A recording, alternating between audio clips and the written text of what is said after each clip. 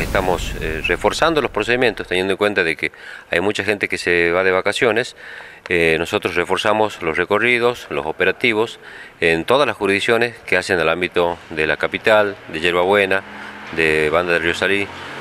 Bueno, todos los días eh, montamos operativos preventivos en las distintas jurisdicciones utilizando las camionetas y los móviles provistos a la dirección. Durante los operativos se recuperaron motocicletas en Manantial, en jurisdicción de la seccional cuarta, en jurisdicción de la seccional octava y 13. Y el pedido concreto de la gente de, UTA era en jurisdicción de la octava y jurisdicción de la quinta, así que se reforzó mucho ahí con recorridos por el barrio Esmata, por el barrio San Francisco, barrio 70 Vivienda, por la zona del complejo Muñoz, en jurisdicción de la quinta, eh, zona de Villa 9 de Julio, todos esos lugares se refuerzan eh, de acuerdo al pedido que nos hicieron ellos y bueno, actuamos también con, el mapa delictivo. Las instrucciones y las directivas que nos dan desde el Ministerio son muy claras, se va a continuar durante todo enero, todo febrero y todo el año, trabajando de la misma manera para brindar la seguridad de todos los vecinos. Y a la gente que utilice el sistema, el sistema 911,